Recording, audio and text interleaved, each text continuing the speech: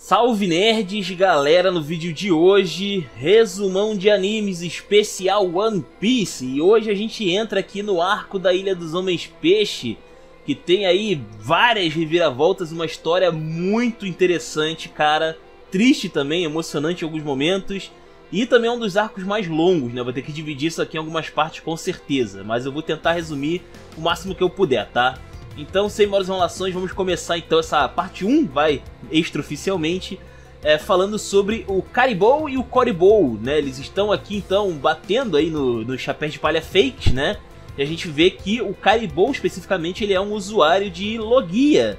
Mais especificamente é a Akuma no Mi do Pântano. Pois é, na verdade essa parte aí do Pântano fica mais, é, mais vamos dizer assim, melhor visto mais pra frente, né? Só que nesse primeiro momento a gente vê que o cara é praticamente invencível ali contra ralé, que são os chapéus de palha fake, né?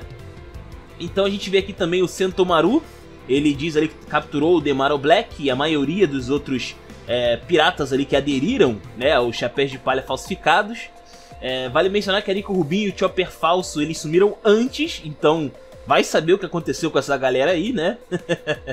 Mas ainda assim a gente acaba vendo que o Sentomaru ele acaba avisando também sobre os verdadeiros chapéus de palha estarem muito mais poderosos do que a primeira vez que eles estiveram em Sabaody, inclusive conseguindo destruir dois pacifistas, né? Mostrando aí que ele está deixando a marinha já avisado de que o problema é muito grave, né? Os chapéus de palha são uma ameaça gravíssima, maior do que nunca, na verdade agora, né? Depois a gente tem aqui o High né? Ele está aqui observando o oceano junto com a Shaki e ele acaba se lembrando aqui, dentre muitas coisas que ele acaba falando com a Shaq, ele acaba se lembrando sobre a primeira vez que ele se encontrou com o Gold Roger, né? Que o Gold Roger apareceu com um chapéu de palha ali na frente dele, né? E prometendo aí que eles iam virar o mundo de cabeça para baixo, isso é muito legal. E a gente vê que ele fica realmente hypado de ver que o Ruffy aparentemente vai conseguir realizar o sonho do Gold Roger, sabe? Isso, isso é muito legal. Inclusive, ele é, é, dá-se a entender aqui também no final da história de que o Hylife ele fica feliz de que ele vai que ele quer viver um pouco mais para ver até onde o Luffy chega. Ele quer ver o Luffy completar essa jornada, sabe? Isso é muito, muito interessante. Isso, é, isso também mostra que provavelmente a história de One Piece não vai acabar no One Piece especificamente. Né? Provavelmente depois que eles descobrirem o que vai estar na última ilha, eles vão. Vai ter mais coisas acontecendo depois. E, rapaz, One Piece vai se esticar pra caramba. pode, ter certeza, One Piece ainda vai, vai se esticar bastante, tá? Então a gente vai finalmente para os chapéus de palha embaixo d'água, onde a gente vê ali eles se maravilhando com aquela camada, né, com aquela bolha revestindo a embarcação e ela funciona como se fosse ali um, como se fosse um escudo, vai contra o mar do lado de fora. E aí, o, se não me engano, acho que o Sop chega a perguntar o que que poderia romper essa bolha. E a Nami fala que talvez os dentes de, uma, de um rei do mar, um rei do oceano, poderia ser capaz de destruir a bolha. Então é importante ficar longe de problemas, né? Além de corais e recifes e coisas desse tipo. Então, é, acaba que o Ruffy acaba dividindo ali o, boa parte da comida dele, né? Que a vovó Neon deixou ali pra ele e acontece que o Usopp ele acaba perguntando sobre o Hachan, né? Onde é que ele estava aí, já que ele prometeu que ia guiar os chapéus de palha até a Ilha dos Homens Peixe, né? Então o Frank ele acaba explicando para o pessoal ali o que, que aconteceu quando ele tinha acabado de chegar lá em Sabaody. Lembrando que ele foi direto para o Sunny, ele pulou bastante aí, é, ele foi bastante objetivo, vai. Ele acabou pulando bastante coisa. Então ele chegando lá, ele acaba se encontrando com o Kuma e ele acaba descobrindo que o Duval e o Hachan, eles acabaram lutando para proteger o Sunny durante vários, vários meses ali, praticamente um ano inteiro. Só que eles ficaram muito feridos, né? Tanto o Hachan quanto o Duval tiveram que recuar. O Hachan foi para a Ilha dos Homens Peixe para se tratar. E aí, né, depois de um tempo, os fuzileiros acabaram é, descobrindo né, sobre o Sunny ali atracado em Sabaody, então eles tentaram atacar a embarcação também. Só que dessa vez, quem apareceu para proteger a embarcação foi o Kuma. E ele lutou bravamente, porque a gente vê que ele tá detonado ali quando o Frank acaba encontrando ele, né? E aí ele acaba descobrindo que o Kuma, ele tá se transformando mais em robô do que em humano, vai ter em algum momento ele vai acabar perdendo a humanidade dele. Então o Kuma ele articulou um plano uh, bastante desesperado até a meu ver para conseguir uh, proteger ali os chapéus de palha em Sabaody, né? Ele acabou uh, avisando, cochichando no ouvido do Hylife que ele era um revolucionário, que ele estava ali para ajudar os chapéus de palha naquele momento no meio da confusão lá, onde estava o Kizar, o Hylife, todo mundo brigando ali entre si. E então já estava tudo planejado por ele, né? Arremessar os chapéus de palha ali para sobreviverem no, em qualquer outra parte do oceano. É, em contrapartida, ele acabou ali ficando, né? É, e acontece que depois ele acabou pedindo para o Vegapunk instalar uma diretriz nele, no próprio Kuma, para que ele protegesse a embarcação dos chapéus de palha até que pelo menos um deles retornasse para o navio, que no caso foi o Frank. E que da próxima vez que o, que o Kuma aparecesse novamente, ele já não seria mais humano, né? Já não poderia mais ser considerado um humano porque ele já estaria totalmente modificado, totalmente robotizado, mecanizado, como queira chamar. Então, cara, muito triste essa parada do Kuma, cara. Ele protegeu ali o chapéu de palha ao máximo que ele pôde. A princípio é porque ele sabe, né, que o, que o Ruffy é filho do Dragon, então ele estaria fazendo um favor para o Dragon. Só que foi custoso para ele, cara. Na moral, foi bastante custoso essa jornada aí, essa jornada, essa potencial jornada final do Kuma, né? Bem interessante. O chapéu de palha ficou bastante surpresos de receber aí essa notícia. Depois nós temos aqui então a... alguns piratas atacando os chapéus de palha embaixo d'água. Olha só que loucura. E esses piratas é o Caribou e o Coribou. Eles acabaram ali é, revestindo seu navio também e mergulhando atrás do Sunny. E por que, que eles vieram tão rápido? Né? Por que, que eles alcançaram os chapéus de palha tão rapidamente? Porque eles estão sendo guiados por um monstro marinho, né? Que acaba trazendo mais potência, vai, pra, pra embarcação.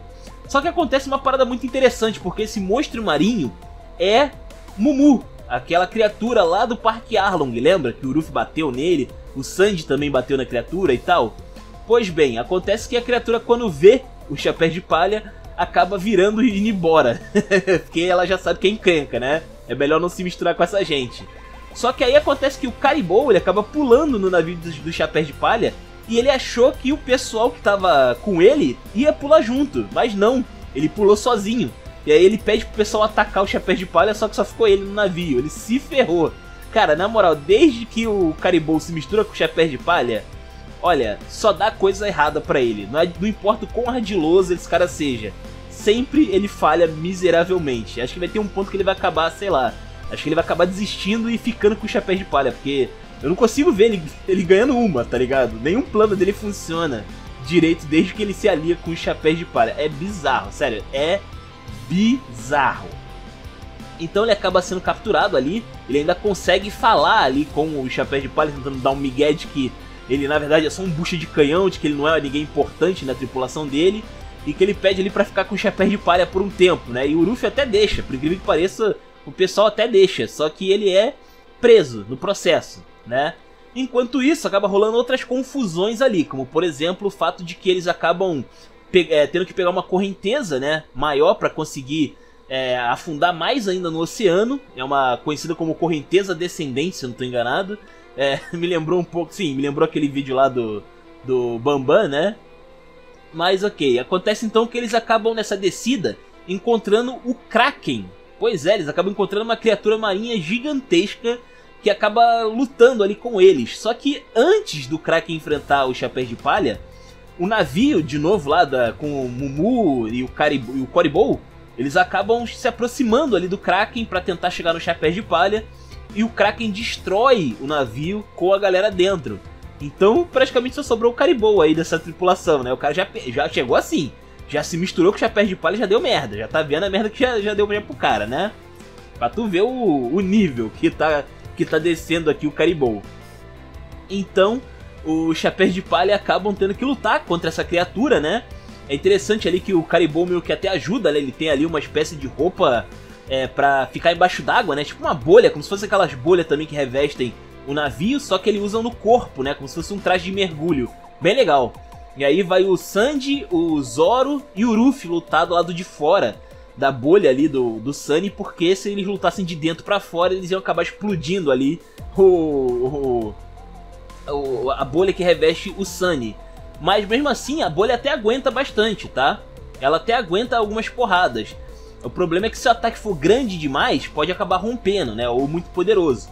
Então é importante que golpes pequenos só acabem passando pela, pela camada ali da bolha. Inclusive o Frank acaba defendendo um ataque ali usando mísseis, né?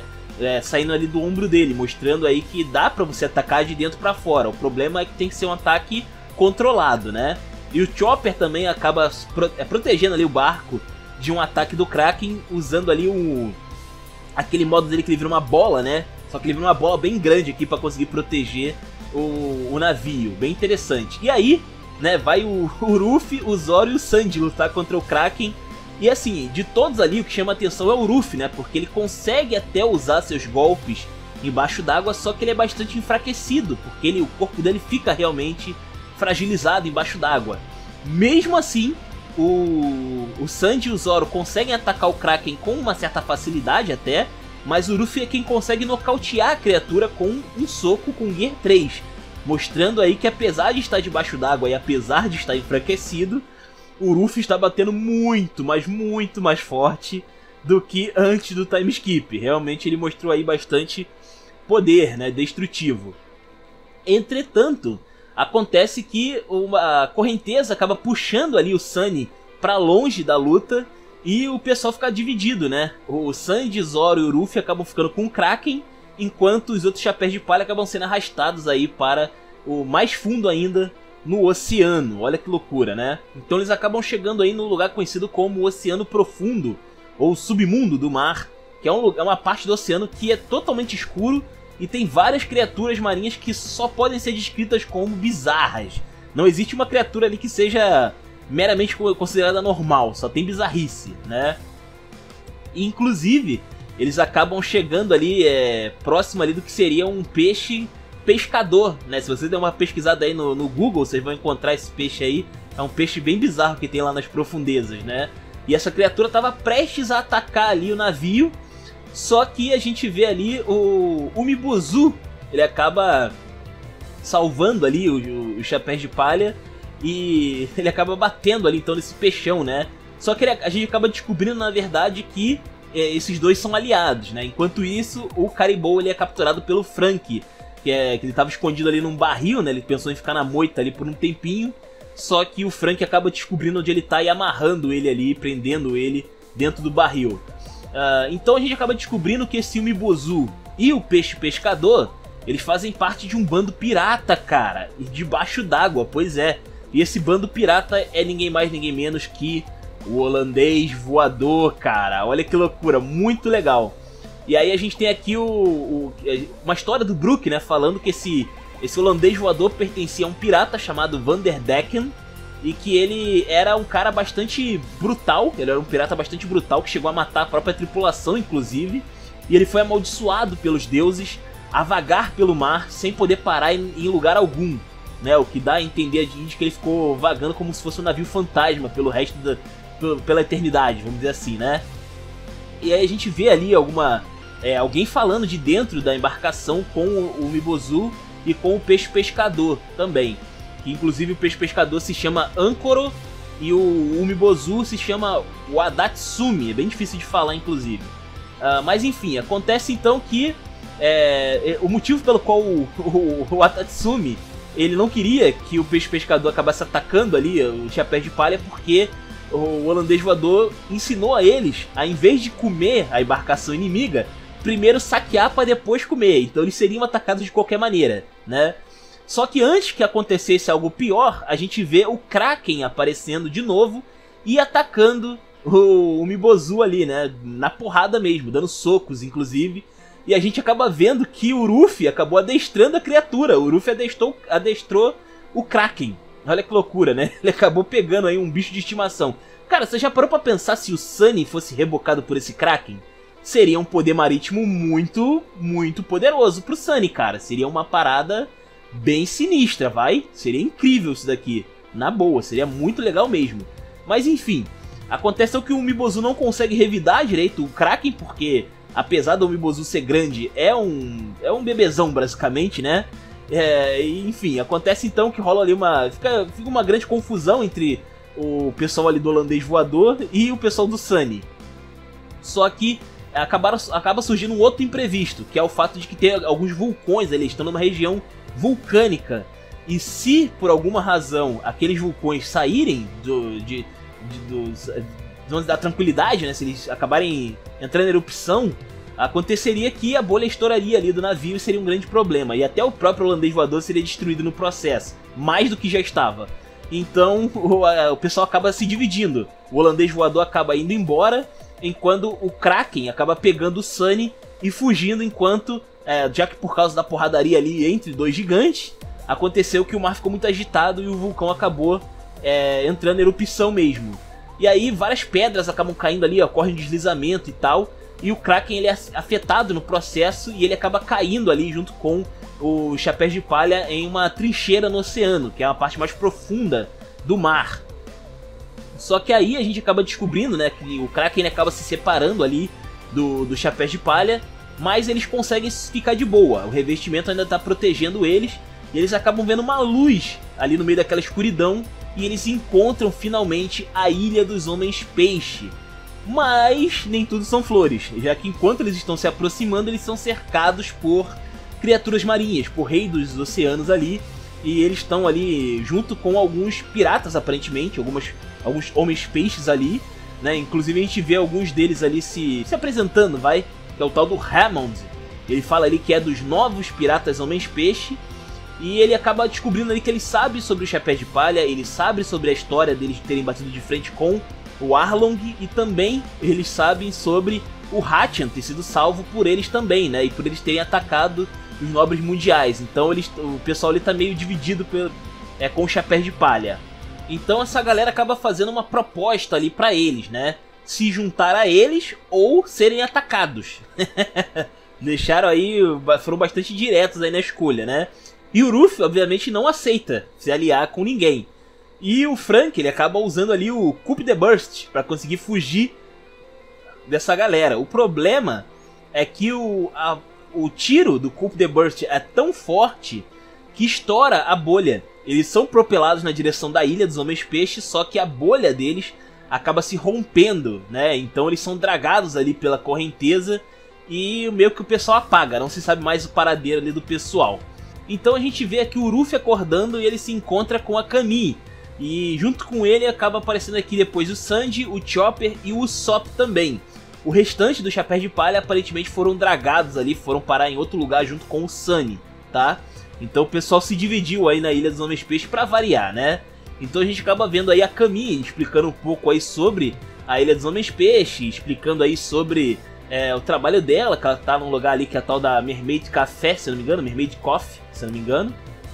E é, basicamente ali eles chegaram na ilha, né? Embora eles tenham, tenham se dividido, já se metido em bastante confusão, mas eles conseguiram chegar lá. E aí rola umas paradas muito engraçadas aqui, como por exemplo o Sandy. A gente já tinha visto lá em Sabaody que o Sandy ele tá com um problema de sangrar pelo nariz toda vez que ele vê uma mulher muito, muito exorbitantemente bonita, né? Acima da média. Então acontece quando ele vê as sereias aqui, que, ele, que é o sonho de qualquer marinheiro, né? Qualquer homem do mar ele acaba tendo uma hemorragia tão grave que ele quase morre, precisando inclusive de transfusão de sangue. E aí a gente acaba descobrindo que o Sandy, ele acaba. É, depois ali ele acaba sendo salvo, vai. Alguém faz uma transfusão de sangue com ele. Só que são dois Okamas. Mesmo debaixo d'água, o Sandy não consegue escapar dos Okamas de maneira nenhuma. E o cara fica em choque. É muito engraçado, cara, sério. Inclusive ele fica, por causa desses sangramentos aí, ele acaba ficando um bom tempo fora aqui da, dos holofotes dessa história, tá? Ao mesmo tempo que, é, vendo lá, o, chegando lá no navio chamado Noah, a gente acaba vendo aqui o Hammond, ele acaba relatando que o Ruffy e o Chapéu de Palha chegaram ali para uma galera, né? Que seriam ali os novos piratas Homem-Peixe, olha só que legal. Então, confusões já estão rolando aqui, né? Obviamente. A Kami acaba explicando ali um pouco sobre o que aconteceu com o Jinbe nesse meio tempo. E a gente vê que o Jinbe ele não é mais um Shishibukai, né? E que ele se afastou da Ilha dos Homens Peixes por segurança, né? Porque se a marinha viesse atrás dele, é, eles acabariam atacando a ilha, né? Então ele acabou se separando um pouquinho, ficando um pouco afastado aí da ilha principal ali dos Homens Peixe. Mas antes que, ele, que ela pudesse entrar em detalhes sobre o Jimby, mais detalhes, acontece que eles são ali recepcionados, né? Eles acabam descobrindo ali que é, tem uma carroça real, uma carruagem real chegando ali, é, junto com os príncipes, né? Os príncipes ali da Ilha dos Homens Peixe, que são Fukaboshi, Ryuboshi e Mamboshi. Especificamente. Esse trio aí, especificamente esse tal de Mamboshi é, é, ridículo, cara. Eu não consigo levar esse cara a sério. Não dá. É, esse cara é, é muito engraçado de olhar para ele, sério mesmo. Eu perco tudo olhando pra esse cara, é muito engraçado. A gente vê que o pessoal da realeza tá procurando ali os chapéus de palha logo, né, rapidamente. Só que as sereias negam terem visto os chapéus de palha, né? E a gente vê que no mesmo lugar tem o tal do Hammond junto com alguns homens peixes ali procurando o Luffy também. E acontece que tem uma sereia junto com o Sandy ali, e o Sandy ele acaba, dado momento ali, acordando né, depois de jorrar sangue. É, ele, ele acabou apagando, né? Por causa da falta de sangue. Só que depois de ver essa sereia, ele jorra mais sangue ainda. E ele acaba é, vai dando sinal ali de onde estavam os chapéus de palha. Rola uma confusão, porque aparentemente os chapéus de palha parece que vão ser atacados. Mas o Chopper pede pra não, não, não gerar confusão agora, que é mais importante agora é acudir o Sandy, né? Que ele tava precisando lá de uma. de uma transfusão urgentemente de sangue. Só que aí a gente acaba vendo que é contra as regras, né? É, ter transfusão de sangue entre humano e homens-peixe. E o motivo do porquê que não pode ocorrer transfusão entre humanos e homens-peixe é justamente por causa de um pirata chamado Fischer Tiger, que é, há muito tempo atrás ele teria morrido depois de lutar ali contra algumas pessoas, né, contra alguns humanos, e acontece que ele não, não, não teve nenhum humano ali para salvar ele, né, fazer uma transfusão de sangue para ajudá-lo. E a gente vai saber mais sobre o Fischer Tiger um pouco mais pra frente.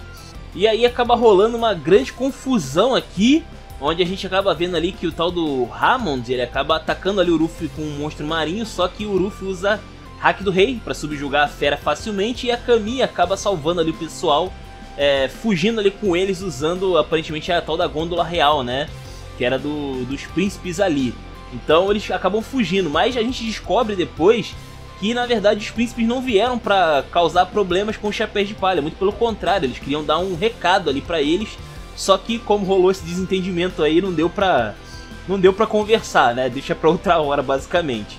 E que já faz algum tempo já que o, alguns humanos chegam é, lá na Ilha dos Homens Peixes porque é, alguma coisa fora lá no, sei lá, alguma coisa lá no fundo do mar tá impedindo que os humanos consigam chegar de fato na Ilha dos Homens Peixes. Uma sombra, né? Acaba ali é, impedindo é, a passagem dos humanos. Isso é bem interessante, bem misterioso também. Depois a gente vê aqui ele chegando no, na, no Mermaid Coffee, que seria ali da Madame Charlie, né? E essa aqui, ela é uma sereia diferente, porque ela não só é bonita, mas também ela aparentemente é adivinha, né? Ela tem ali umas visões do futuro e tal, e ela acaba escondendo ali então o pessoal ali do Chapéu de Palha né, durante esse meio tempo aí, né? Que eles estão com cinco estrelas do GTA, basicamente. Tá rolando muita confusão aí. E também aqui onde o Sanji é acudido ali por dois Okamas, no caso, que fazem ali a transfusão com ele. A gente também vê aqui que o, o Ruffy ele acabou sendo envenenado em um dado momento é, por causa ali de um, de um cara ali que é o tal do Ryuzou. Só que ele não sofreu maiores consequências porque ele está resistindo ao veneno já que ele acabou ganhando resistência por causa do, Magalhães lá, do Magellan.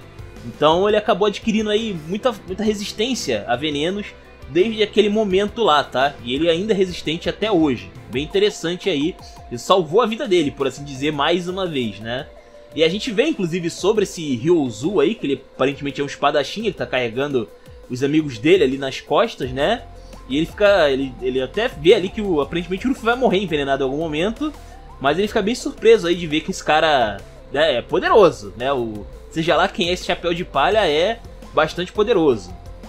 E aí ocorre também uma confusão em paralelo, que a gente vê aqui o Caribou.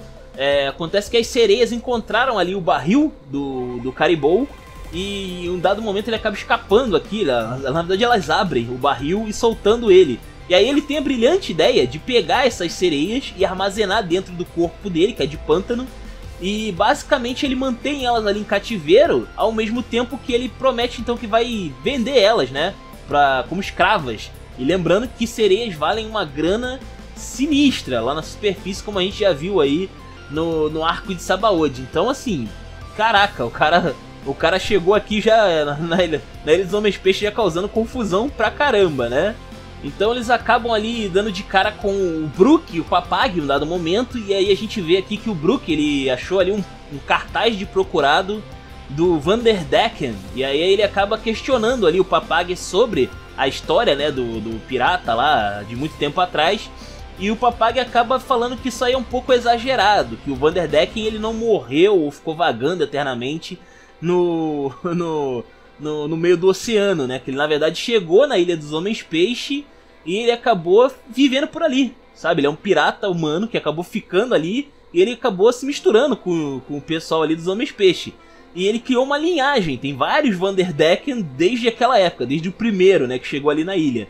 E agora a gente tem aqui o tal do, acho que é o Vanderdecken nono, se não estou enganado. Então, tem uma linhagem bem grande aí de Vanderdeckens, basicamente. Então a história é um pouquinho diferente, vai. O cara na verdade se deu até muito bem, se for parar pra pensar, ele se deu até bastante bem. Outra coisa também que chama a atenção aí dos chapéus de palha é uma fábrica, né, que tem ali com a bandeira da Big Man. E aí eles acabam descobrindo que depois que o Barba Branca morreu, a Charlotte Lin Lin, a Big Man, acabou pegando a ilha para si e em troca de segurança, ela acaba pedindo em troca que, que o pessoal da ilha faça doces para ela nessa fábrica, né? E aí a gente veria a confusão que se daria mais pra frente, mas por enquanto uh, vamos deixar essa, essa fábrica aí, a Big Man de lado só por um tempinho, tá? Só que acaba acontecendo um problema, porque depois que os chapéus de palha acabam é, saindo ali da, da casa ali da, da onde vive a tal da Madame Charlie, a gente acaba vendo que ela tem uma visão do futuro, onde mostra o, alguém usando um chapéu de palha, ou seja, o Ruffy, é, em chamas, em volta ali pelo fogo, e com a Ilha dos Homens Peixe ali no caso toda destruída, né? Então esse, alguma coisa ia acontecer que o Ruffy é, aparentemente vai trazer a destruição aí da ilha, da ilha dos Homens Peixe, né? Por alguma razão desconhecida. Então ela acaba profetizando essa parada aí, o que pesa negativamente para a opinião pública ali do Chapéu de Palha na Ilha dos Homens Peixe, né? Pra variar, né? Pra variar. Não, não pode ficar pior, né? Não, não é possível que vai ficar pior do que isso. Bom, na verdade vai, vai ficar muito, muito pior. Em outra parte ali da Ilha dos Homens Peixe, a gente acaba vendo aqui um cara chamado é, Mão de Caranguejo Giro. Ele é o capitão ali de um, de um grupo pirata que tá aparentemente se preparando para atacar ali os Homens-Peixe, né, os novos Piratas Homens-Peixe. E a gente acaba vendo aqui quem são os principais ali desse bando, né, que é o tal do Dozum, que é um tubarão martelo, o Zio, que é um acho que é um Ubigong japonês, acho que assim fala. Tem o Daruma, que é um tubarão Cook Cutter, não sei como é que chama isso daqui em, em português. O Icarus Mutt, que é uma lula, e tem o capitão que é o Hold Jones, que é o um tubarão branco, né? E acontece que o Hold ele se oferece ali então para lidar com esse tal de Giro. E acontece que ele toma ali uma espécie de pílula, né? Um grupo ali de pílulas que aparentemente potencializa o corpo dele, né? As capacidades físicas dele. Enquanto isso, a gente vê aqui o pessoal maravilhado com o Papag, né? O Papag é um cara importante, inclusive, lá na Ilha dos Homens Peixes. Nem parece, né? O cara tá andando com a camisa, metendo um monte de confusão no meio do mar. Tem nada a ver, né? Nem parece que o cara é um, é um ricaço ali, né? Da Ilha dos Homens Peixes, mas enfim. Acontece então que ele ele vende roupas, né? Pelo que eu entendi, ele trabalha ali vendendo roupas. E tem até um momento engraçado que a Nami acaba encontrando ali a loja dele, tá reclamando que os preços, que os preços estão altos. Aí o Papag fala que eles podem pegar as roupas de graça, porque ele tem uma dívida com os chapéus de palha, e eles esvaziam a loja do cara. Tipo, caraca, calma aí, né? Também não precisa abusar, né? Pô, secaram ali o, o, o trabalho do cara, acabaram o trabalho do cara praticamente. Poxa, não precisava de tanto, né? Só que a coisa fica meio esquisita, porque de repente quem aparece ali é ninguém mais, ninguém menos que Netuno, o rei da Ilha dos Homens Peixes, conhecido como o deus do mar Netuno, olha só, né? E, cara, né? É, é, é alguém importante. e ele vem cavalgando numa baleia, sim, você, entendeu? Ele veio cavalgando uma baleia, que é a tal da Howie, acho que é assim que fala. E acontece que o pessoal fica chocado, né? O que, que o Netuno tá fazendo ali no meio do, do povão, né? E aí a gente descobre que ele veio convidar o Ruff e o Chapéu de Palha para o seu palácio. O que deixa todo mundo chocado, simplesmente chocado. Depois nós voltamos aqui pro, pro tal do Giro, lá, né? O mão de caranguejo, que na verdade não, a mão não é de caranguejo, aquilo ali é um, é um pedaço de metal que ele usa ali, como se fosse em formato de caranguejo. E a gente vê ele sendo atacado pelo tal do Hold Jones. E cara, a gente vê que o cara ele, se, ele tá aparentemente preso, o Hold Jones ele, tá, ele se algemou.